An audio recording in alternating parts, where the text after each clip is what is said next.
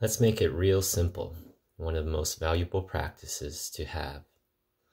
Knowing the belief you want to have and therefore create the life through the belief you want to have, right? So knowing the life you want to live, right? Practice getting an idea of what that is like for you. Practice visualization. Be willing to practice ideally on a daily basis visualizing into the scenarios, the situations, the beingness, the embodiment of having, experiencing, doing what you dream of, what would be best for you, what would give you the most amount of joy, fulfillment, upliftment, creativity, connection, authentic expression, being self expressed, right?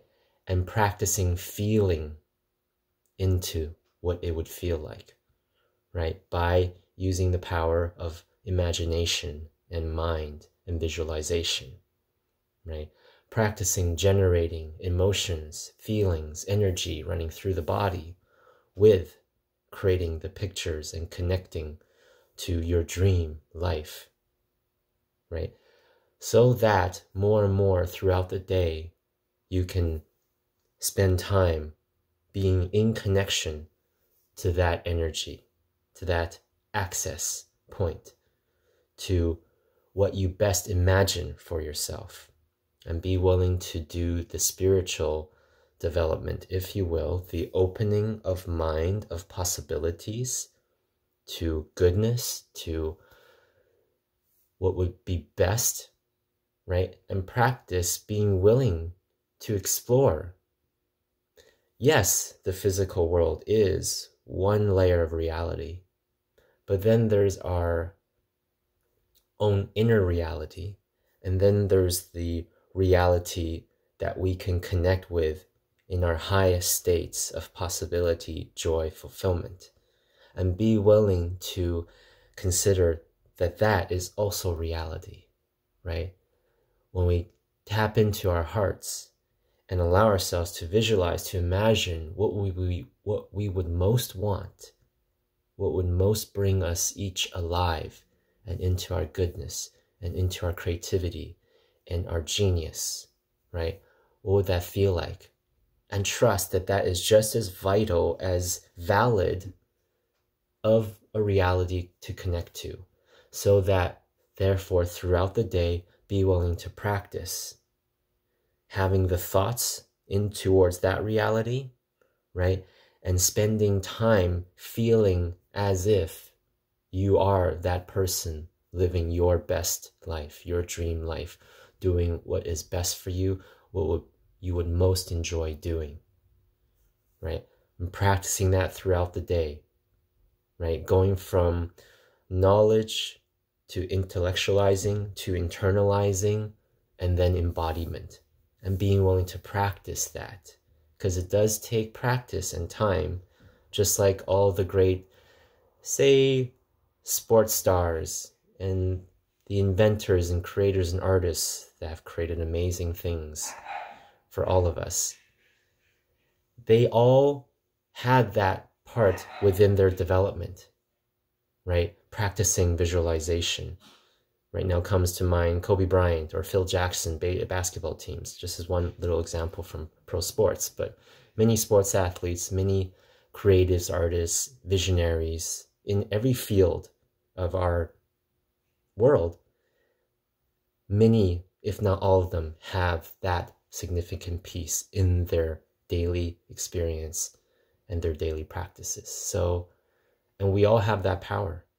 So, inviting you to practice that, right? Knowing the belief you want to activate and you want to create life from, and practicing connecting to that in thought, right?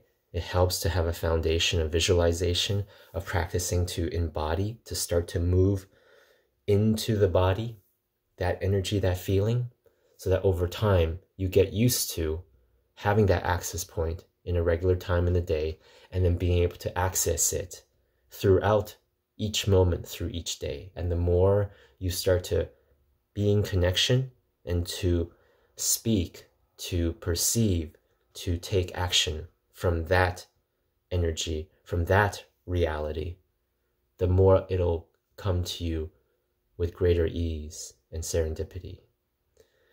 So that's the part about connecting to what is wanted, right? And feeling, embodying the energies, what it would feel like, so that you can attract it from that place within. And the other piece is knowing the belief you want to let go is the other side of this practice, right? And recognizing the habitualness of your thinking when it comes to being, well, attached, right? Uh, to the fear and to the beliefs that have become habitual over time in the past right? But it's ones you know you want to let go of. So therefore, it's recognizing the belief you want to change, you want to let go of, and recognizing all the thoughts and the stories associated with that belief and your experience, and being willing to practice. Okay, noticing when they come in, when they intrude, when the, the habitualness in the thinking, and then being willing to stop, catch yourself, and let go, right? practice ignoring the thoughts that are right of a quality of an energy that is negative, that is pessimistic, that is fearful, that is in judgment of self or others, right? And practice letting that go. Practice engaging, connecting to, right? The embodiment, the thoughts, the thinking, the perceiving, right? Possibilities practicing that and practicing letting go when you notice yourself in habitual old thinking, right? The old energies. And that's the practice, right? And it's just, it's one of those things is it is a practice and it's not necessarily easy. And one of that may just be most people we're surrounded by is in habitual thinking is in well pessimism or judgment or not opening up to possibilities right? Um, if if a lot of people in your life are stuck right it may not be easy for you to practice that. That's why it's important to be aware that you can start to create space for the practice. And that over time, if you create space with yourself, practicing with yourself, find others that are willing to move towards a similar direction of growth and learning, right? And practices, right? And then more and more, you'll increase your capacity to deal with the people in your life that are choose to not, you know, support themselves in positive change, right?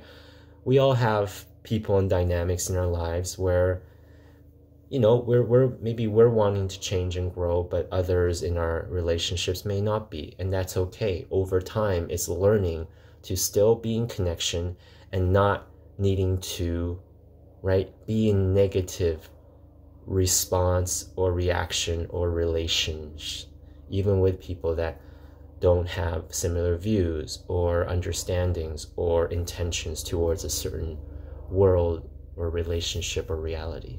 So that's the practice, right? Practice throughout the day, noticing how often you're spending time in thoughts that are generative, that are supportive, empowering, loving, right? Kind, patient, right? Generative versus thoughts that are habitual, that are from the past, that are based in fear or survival or protection or defensiveness or suppression or repression or hiding, right? Uh, posturing and not speaking your truth and what you really want to express. And that's the practice, right? Let's make it real simple. Practice having good thoughts and letting go of the bad thoughts. Be willing to have a foundation of cultivating, of anchoring the embodiment the energy that you really want your life to be. And with practice, you'll start attracting from that point of attraction. All right, all the best to you. And if you have any questions, don't hesitate to reach out.